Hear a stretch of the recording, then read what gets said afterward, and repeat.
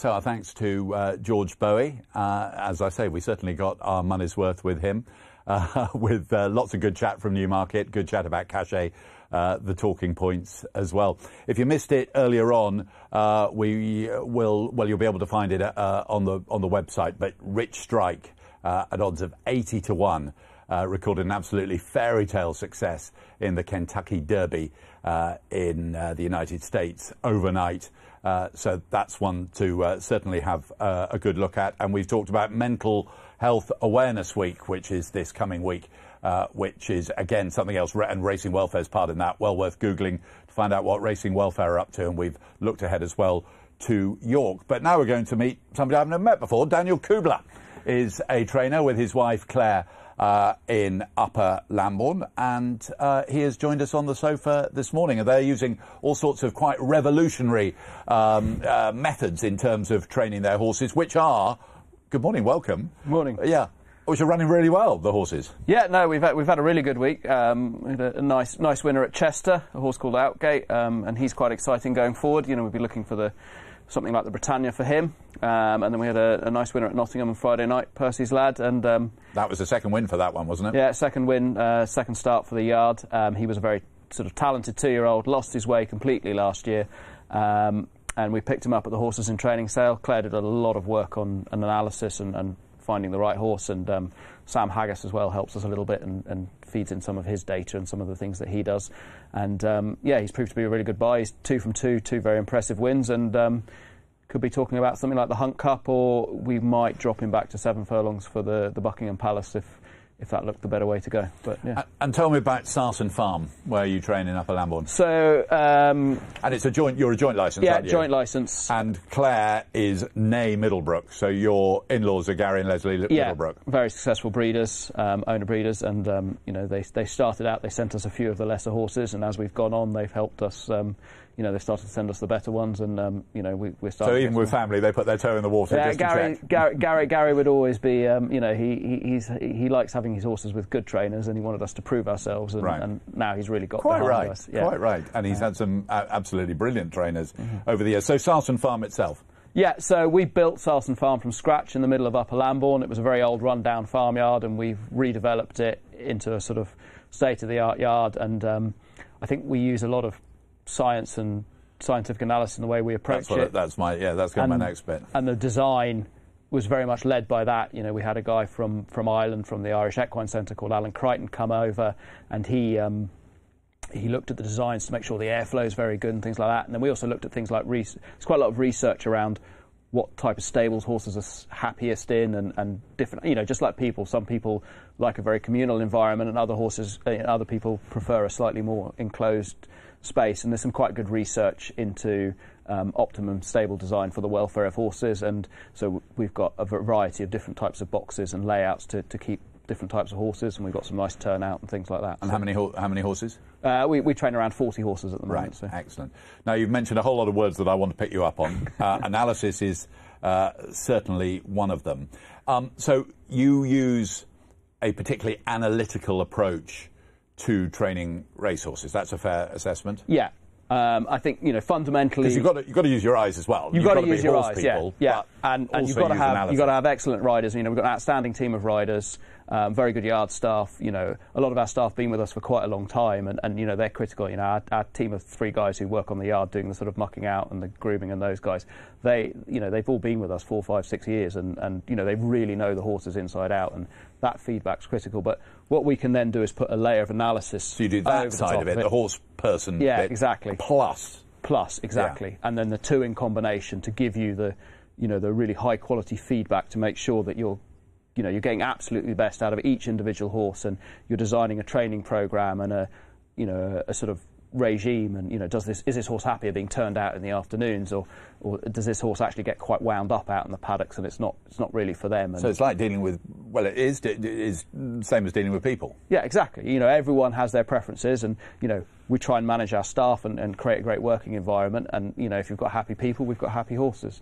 Um, and uh, funny enough I, I, I saw when you started training you said you're always looking around for ideas so was this because you're your now wife, who was then your fiance, I think, um, she she comes from a sort of scientific background, doesn't she? So it was that did did she sort of um, did she bring that to the party, so to speak? Yeah, and I think both of us naturally, you know, you know, we we we sort of have a similar ethos to life, and um, Claire. Claire studied uh, natural sciences at Cambridge and specialised in physiology, so obviously she's got a massive understanding of, you know, on, on that in-depth level of, of kind of a lot of the science that goes on. I did a degree in equine agricultural business management that had a big chunk of equine science in it, and my family sort of uh, is quite a medical family. I've got brothers who are doctors, and, and you know, there's that sort of scientific questioning things. And, and coming to racing from outside, I would look at a lot of things that happened, and, and you sometimes think, well, why, did, why, why is that done that way? And, you know, when you then sort of look at it and think about it critically, you can see that there's a scientific process that leads to that. And then there's other times you think, well, actually, the science would say that doing it this way is this way's better, and you're always looking. So you've got to sort the wheat from the chaff. Yeah, and I think you know it's it's that concept of marginal gains in sport. Yeah. You're always looking for that little edge to make a small difference, and if you can bring lots of them together, you you can you can outcompete your you know your rivals. Well, let's let's get some examples then. Yeah. Um, so I'm told, ask you about. I was told by somebody, ask you about the speed gene. So yeah. Um, so just tell us first of all what a speed gene is. So well, is it obvious what it is? Not, not necessarily. Um, so um, we have different muscle types, and the greater the proportion of fast twitch to slow twitch, um, essentially decides which distance is the best distance to run over for a horse, and all that's uh, coded for by, by the genes that you have, which don't change. So we can take a blood test from a horse, and we can look, and we can then define. And I think there's a graphic up now yeah. explaining them. And um, you know, you get one set of genes from your your father and then the other set from your mother, and um, those then combine, and, and you can have end up with one of three results, depending on what you inherit from your parents, and um, that then helps us work out. Okay, so when we get a horse into training, we'll do that test, and we'll say, okay, well, this is, you know, according to this gene test, is going to be roughly a stayer, a sprinter, or a sort of you know mile or middle distance type of horse.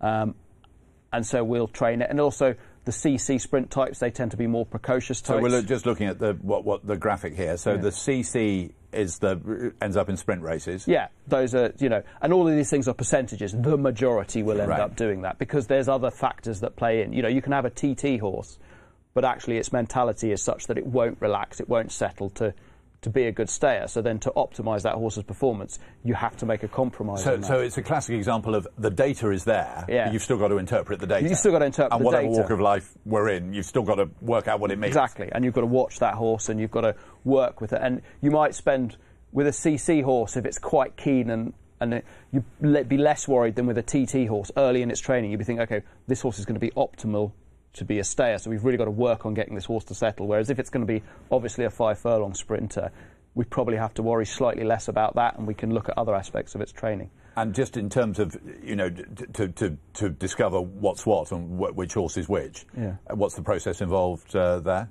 So that's uh, that's simply a blood test. It's, right, simple and, as that. Yeah, and they go off to they go off to Ireland and they get analysed over there, and they do lots of other more detailed tests, and, and you know you can use those for, for slightly different things, and and you know they're, they're starting to predict potentially the the athletic ability of a horse and, and, things like that by looking at the various gene combinations that there are. Um, this is probably the most simple. Mm. Uh, one. You mentioned Ireland. Am I right in saying Jim Bolger's a yeah, is exactly. really interested in all this? Yeah, I mean, Jim Bolger effectively set this company up that we use together with a scientist called Emmeline Hill, who was working at Dublin University at the time. And, you know, they, they did the basic ground research, developed the company, created the company, and then um, you know, essentially made a commercial product that's available to, to anyone. So a horse comes to your yard.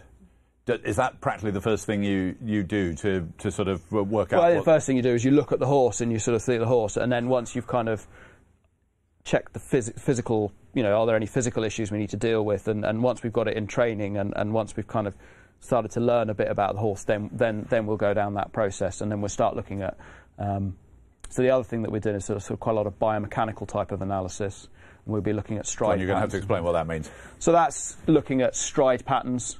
Right. And then that's the other part. So, so we've oh, right. got, got, another graph, got a graphic yeah. up here. So once we start going a bit quicker, we can start looking at. Um, we've got stride cadence, which is how many strides a horse takes in a set time frame. So we normally measure that per second. And then we've got the stride length, and we can analyse that data. And it can again, the cadence is in most cases, again, and, it, and, and it's, it's a bit like the genome, it, it works in a lot of cases, but not all cases. The cadence is, is very typical for a sprinter, is a high turnover, um, lots of steps per second, and a stayer is fewer steps per second, but typically longer. Right. And then there's some correlations between stride length and ability. And so we can start looking at that. And again, if you've got a CC with a very high turnover, um, you know, that's all kind of locked into sprinter. And if you've got a TT with a, on your genetic test, with a, a sort of longer turnover, then, you know, you've got stayer. But, you know, sometimes you can get it sort of crossways, and, and then you have to start really working on the horse and what wins out the biomechanics or the genetics, or and there's probably various factors that come in. So that's where the data can get a little bit muddle it, and again, then you're going back to your where you've got to interpret riders it. and your interpretation and, and, and, and, taking all of the information. And d- does would you do this with a horse whether it came to you as a yearling or it came to you at five or six years old or whatever? Yeah, yeah. Um, I mean, obviously, as, as a yearling, you've got to get it to the point where it can go fast before you can yeah. start doing the biomechanical. You know, the, the, first part is, is teaching the horse to be a racehorse. But presumably it helps you know what, what to do in order to, to achieve that. Yeah, and then, but with the older horses, it's really, and we've been quite successful taking older horses, and we had a filly last year that came to us that, you know, she was rated 60 and a, she was a four-year-old, hadn't ever won a race, and she won three races and progressed 20 pounds, you know, and that was basically by increasing the distance um, her biomechanical data was sort of. So increasing the distance in terms of. So we increased the distance that she was running over. Right. So you're using that. You were using this data. Yeah. Obviously, the people who had the horse before had analysed and tried to do this, that, yeah, the other. and you know and they you... weren't far out, but by taking the genetic test, and with her it was the genetic test more than the stride data. The genetic test said this horse will stay further. The stride data you know, she'd run over seven furlongs, and by stepping her up to a mile, we got the, the difference. Yeah. But the stride data was possibly questionable whether she would. And actually, by going a mile, then we started seeing her races. Actually, her stride patterns slowly changed to being suitable for that. And we, you can also look at stride data and but you can't know this when the if the horse is at sales. You can't know. No. That, so well, you can look so at the you, past performances. Yeah. But, so, but there's an element of just doing what everyone else is doing is yeah. just trying to select ones yeah. that you like. And, and what you're looking, ones that you like, um, and with older horses, you know, is there something in that form somewhere that actually shows shows ability? I right. mean, uh, Percy's lad that won at Nottingham, I mean, you know, he was group placed as a two-year-old, so yeah. he clearly had talent. Yeah. It was then just working out what went wrong as a three-year-old and, and, what can we change. And, and, with him, a lot of it was. So what happened with with Percy's? Uh, so Percy's I mean, lad? with him, a lot of it was he was obviously quite keen in his races, and he was a slightly, you know, he looked not the most straightforward ride, and with him, there was a lot about our team of riders at home riding him very consistently, and we've you know we've got some very good experienced riders, and that and, and with them, that's really the horsemanship side of it coming in. We did a genetic test, and we looked at um, his stride patterns and you know, he tried a variety of trips last year. This, this, is him here. Yeah, this is him here winning at, at Nottingham on um, on, uh, on Friday. Friday. night, and um, you know he's done this quite comfortably. This is, there were a couple of fancied horses here in this handicap, and you so when when you saw that was entered in the horses in training sale, you you've gone through the catalogue as everyone does. Yeah. And you've just thought, oh, look at what he once was capable yeah. of, what he was once capable, and, and can, can, we get him back? Can that? we get him back? And you know, he'd only he, I mean, he ran five times last year. He was quite lightly raced, right. and you know, he'd only run three times after being gelded, and he'd shown bits of promise, but he'd run over seven furlongs, a mile, and eleven furlongs, and, and you know, sort of probably only one of those was really the yeah. his optimum trips. He hadn't really, you know, and so there was enough there to think, okay, and you know, he looked sound and straightforward, and you know, by getting him home, working out what the right trip is, and you know, hopefully, he's, you know, he's exciting for thirty thousand. We've we've managed to source a horse for his owner, Alan, you know, who's hopefully going to take him to Royal Ascot, and you oh, know, the dream is the, on. The, the dream is on, exactly, and that's what yeah. it's about, and you know, particularly, you know, most of the horses that we have wouldn't be wouldn't be hugely expensive, mm. and and you know, you you're always looking for those good ones to take you to the next level. And you know, we're quite ambitious. We want to be racing at your Ascots and your Chesters. And and uh, t- tell me about X-rays. So um, X-raying of um, so is it the knee in particular? Yeah. So what we do a lot of. Um, and this is this is with the two-year-olds now, the, the yearlings. Is once they've got to a certain point in their training, and you're trying to decide do we go faster or not, you're looking at their physical maturity and you, as a horseman, you can look at things and you can see the see, see see oh that looks obviously immature, that looks immature, but skeletally, not every horse is mature. And just because a horse is doing something very easily doesn't mean it's actually physically that mature. You know, it's probably quite a talented horse, and by training it too hard at that point, um, you could be causing long-term You risk doing that. r- disc injuries. So, so we, uh, we'd call it biobanding. And again, you're looking at the genetic results. Is this That's my new word of the week, biobanding. I've yeah. never really heard that word before. It's a big, it's a big buzzword in in um, in football at the moment. And and interestingly, when uh, we did a couple of social media posts earlier in the year about what we're doing, and a, and a guy at Bath University called Professor Sean Cummings sort of reached out to me, and we had a really interesting conversation. And he said, "This is what a lot of these football academies are doing," and it's that thing of uh, Harry Kane's a real example. He he got cut from. I think Arsenal From Arsenal, didn't he? early And on because they thought he was too too you know he wasn't going to be very big and all the rest of it. And it turned out you know he's a great big six foot two centre forward, but and, and it, you know he was just immature compared to his age group. right. And actually, once he'd matured up, he was a really you know talented player. Yeah. So in football, particularly, they're moving to, to training them in rather than going, okay, well, these are the ten year olds, these are the fifteen year olds. They're looking at their their biological maturity because everyone obviously matures at different rates, and by putting them in into the similar biological maturity and bringing them along. And it's not just about missing players; they've reduced the injuries that they're seeing in these kids right. uh, like I think I think the stat he gave was like in, in one of the studies was 72 percent by taking on this approach. Well, if we can bring that to training, and we're having less injuries, and our owners are having less injuries, they're getting more days at the races, they're getting horses that can race for longer, they can win more often.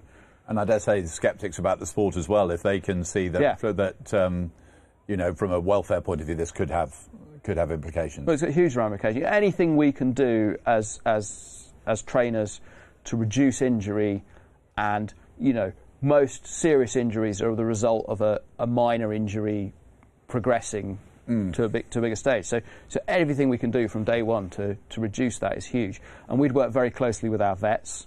Um, you know, our vets will come every Friday and we'll look at every single horse in the yard together as a team.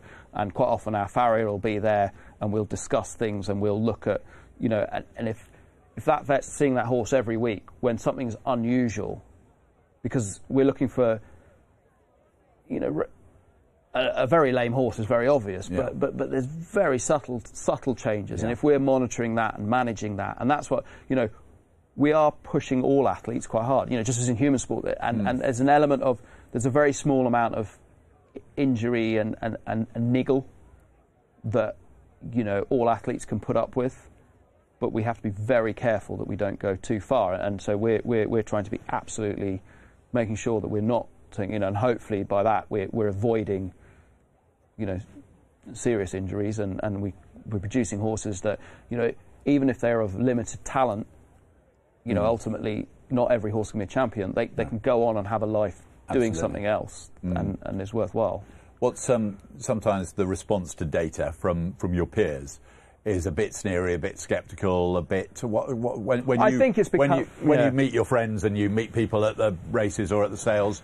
What do people? I think more and more people, you know, everyone's looking for an edge, and, and there's, you know, there's so many different ways you can find an edge, and I, I, I think, you know, lots of what we're doing, other people are doing bits of it, some of it, more of it, less of it, but um, I think, you know, the response is, you know, people are interested, you know, everyone's competitive, Mm. everyone's looking for things, you know, Jim Bolger's probably, you know, probably one of the more senior trainers, should we say, and, and you know, Yeah. he's developed Well, you'd have thought if, if he's not sceptical, then that is uh, Exactly. you know, yeah. and I, I think you know all trainers who, who want to reach the top are looking for anything that might Mm. might help them. And, and if people don't understand things, then you know they- they've got. Que- and I think sometimes when people are sneery and sceptical about things, it's because they're they're not prepared to adapt and change and and. And more and more people are talking about data in Yeah. more and more different ways. Well, you know, uh, lots of people walk around with a heart rate monitor on on their watch all the time Yeah. now. You know, so so you know, ten years ago when we very first started training and we had to sort of cobble together heart rate monitors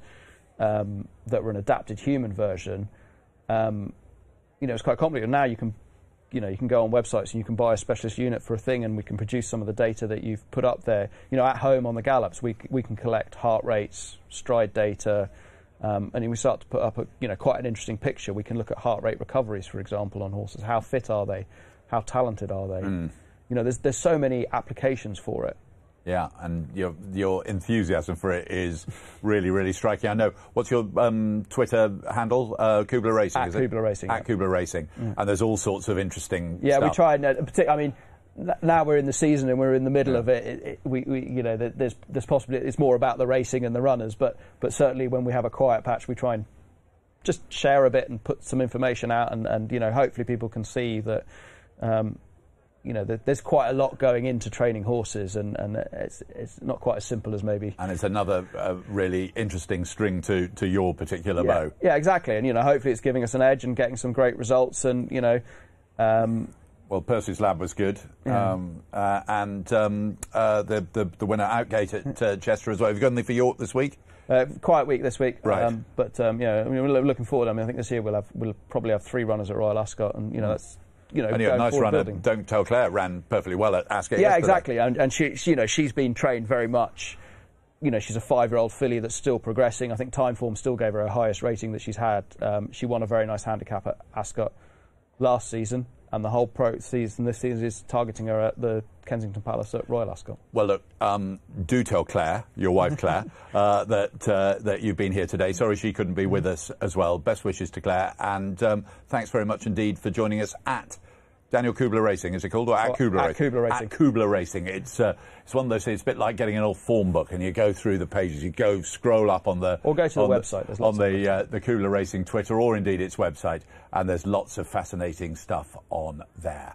Right, we're going to take a break, say goodbye to Daniel. Uh, we'll take a break now, and Bob Butler will be with us very shortly on Luck on Sunday on RTV.